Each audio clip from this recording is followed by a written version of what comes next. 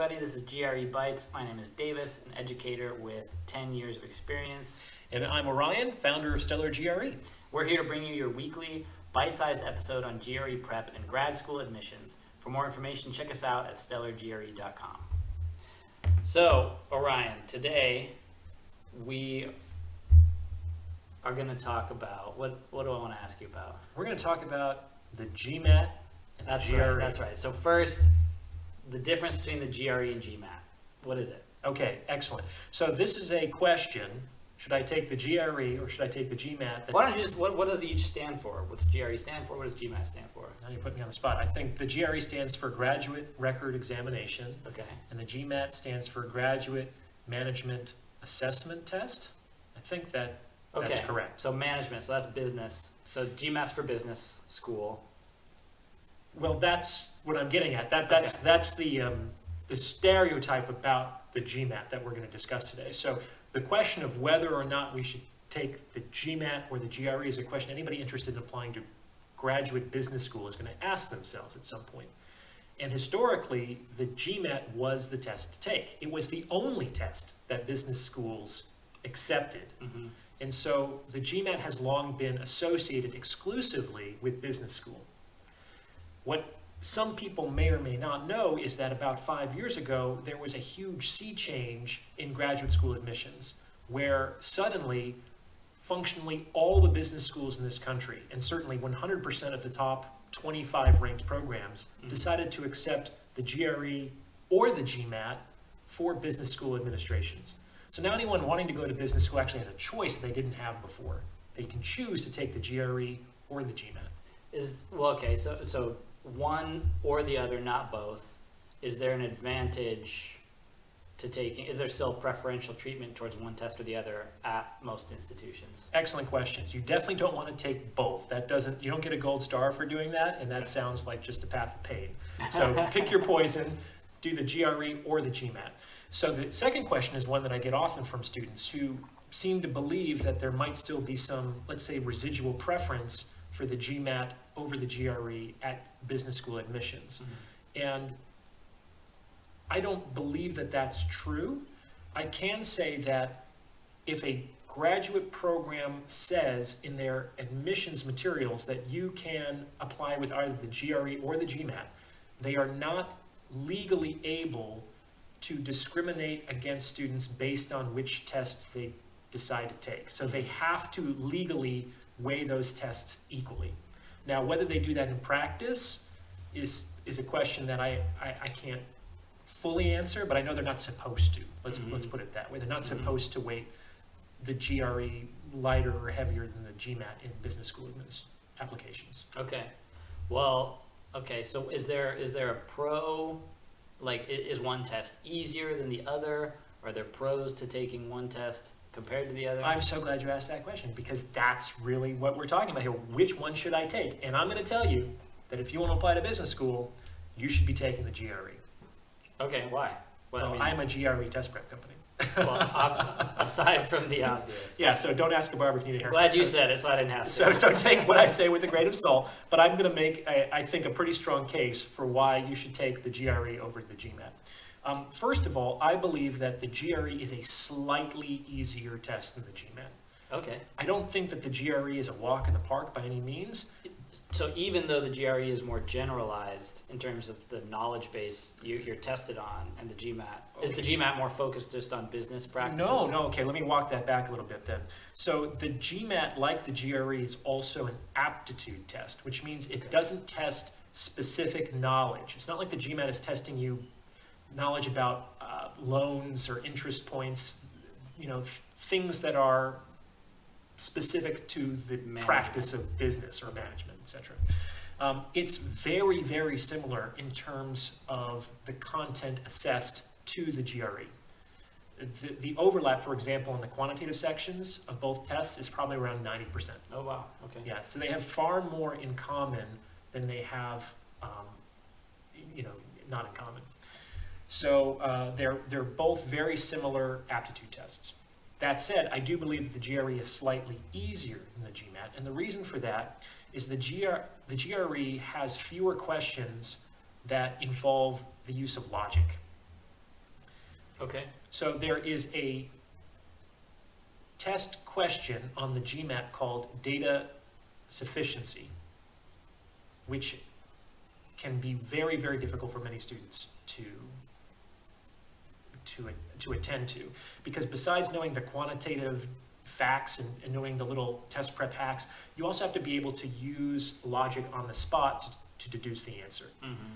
So we're putting an extra challenge on that type of question that doesn't usually exist on the GRE. In fact, there's like less than 3% of questions on the GRE involve some form of logic versus, you know, up to 40% on the GMAT. Mm-hmm.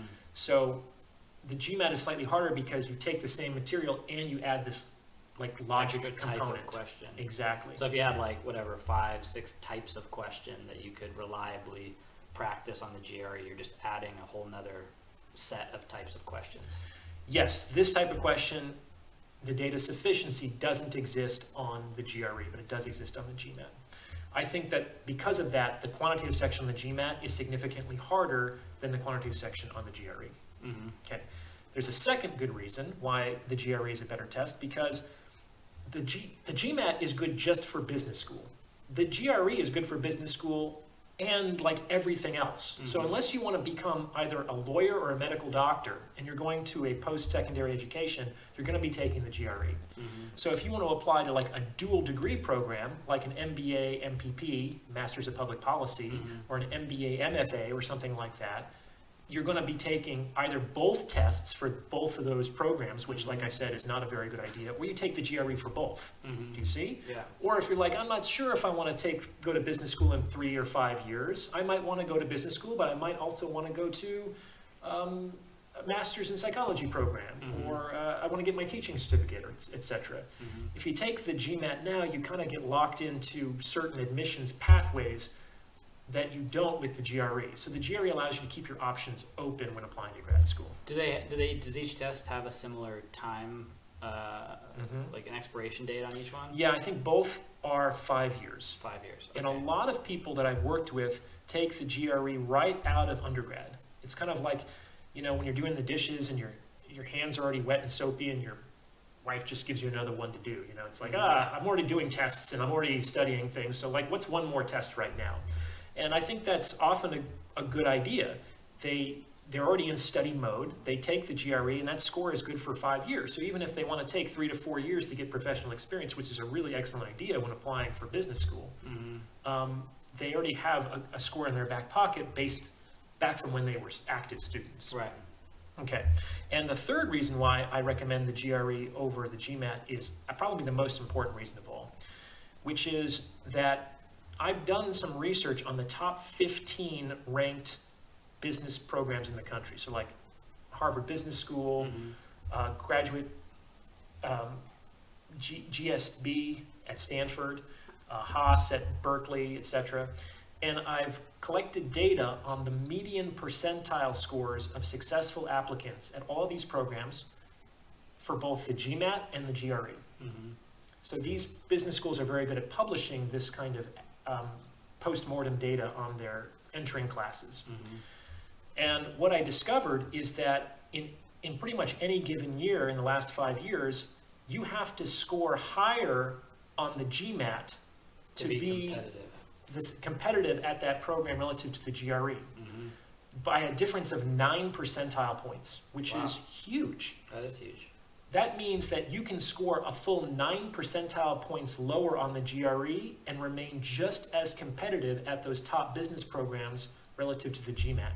And that's without having to master that harder logic-based Correct. It's an easier test. test. it's more widely applicable, and you don't have to do as well on it to be as competitive at top programs relative to the GMAT. Was there like just you know to kind of play the other side? Is there any reason that the GMAT would would be you know more beneficial? I mean, not that I can think of, it's even more expensive. Oh no way! And What about the time? How, how like is, is it similar in terms of its time It- commitment? In terms of the, the, the length of the actual test, yeah, I think that both tests are around four hours. Okay. Um, I mean, the GMAT is just a little bit more expensive, not, not a lot, but it is Mhm. a little bit more expensive. Um, it's about, both tests are about four hours. You're gonna take probably between two and four months to prepare for the exam Mm-hmm. because they test, as I say, very similar content. Yeah. Um, but the main kicker for me is that you don't have to perform as well on the GRE To to remain competitive for the right. top business That's right. programs. And that is hugely important because as we talked about in the previous episode, one of the main reasons why these standardized tests exist at all is to give grad programs a legally defensible way to reject otherwise qualified applicants. Mm-hmm. And if you're beneath the median for their six, uh, of their successful applicants, then, I mean, that's already a liability. Mm-hmm. And the whole point of this is to dodge this bullet so that we can get the rest of our application in front of the committee so that they can see, hey, we're a good fit. Remember, people get in because of goodness of fit. That's right. That's right. Well, that's super informative. Uh, thanks for sharing all that information. And everybody out there, thanks for tuning in. We'll be back next week for another bite-sized episode of GRE Bites. If you have a topic you'd like to discuss on a future episode, let us know at stellargre at gmail.com. And if you're interested in either GRE prep or grad school consulting, check us out at stellargre.com. Awesome. Talk to you soon. Thank you.